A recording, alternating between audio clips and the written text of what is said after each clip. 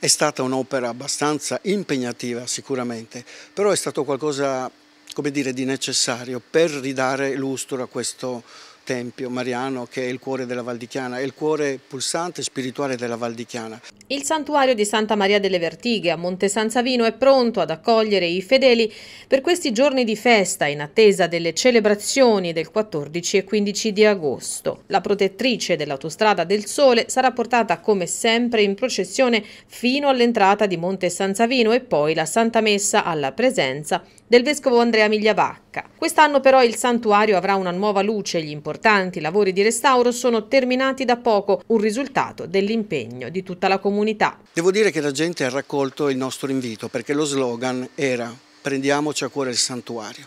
È un santuario millenario, la fraternità che lo sta zelando dal 2007 si è presa l'impegno di portarlo avanti perché c'è un desiderio di tramandare, no? conservare per tramandare e devo dire che la gente viene qua.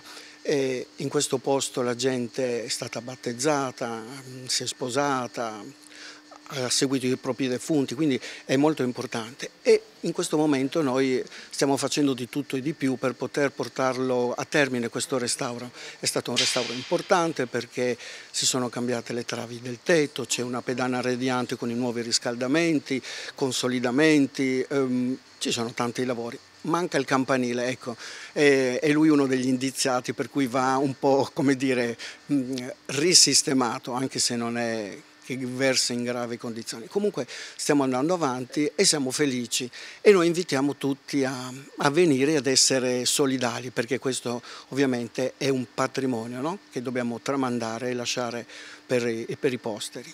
Monsignor Andrea Migliavacca è già venuto a Benedetto l'inizio dei lavori che sono partiti alla fine di gennaio e adesso ritornerà ovviamente per vedere nuovo dire, questa nuova luce che emana il nostro santuario. La patrona dell'autostrada è proprio lei, Santa Maria delle Vertighe, quindi c'è una processione il 14 sera, si arriva fino al casello dell'autostrada, viene chiuso, il, il, vescovo benedice l'autostrada e si ritorna in qua per la messa pontificale. No? È un evento molto bello. Poi ci sono tanti eventi in questo mese di agosto che sono tutti eventi che servono quindi dire, alla, alla beneficenza, no? è tutto pro santuario. Quindi io invito tutti a poter a partecipare a tutti gli eventi e ad aiutarci in questo lavoro impegnativo ma direi emozionante ed esaltante perché mettere poter aiutare, non aiutare, poter sistemare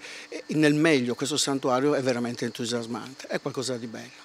E come vorreste che, che, lo vivessero i fedeli, non solo dalla Valdichiana Aretina o Senese, ma anche da altre zone?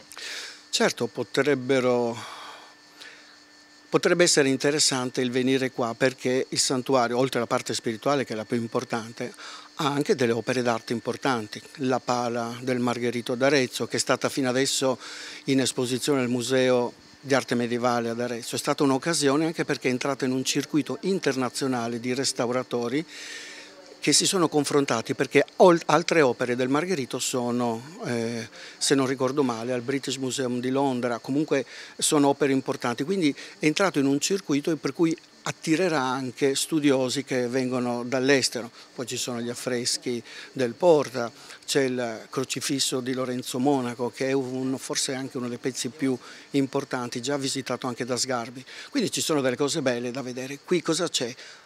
Arte, cultura e fede.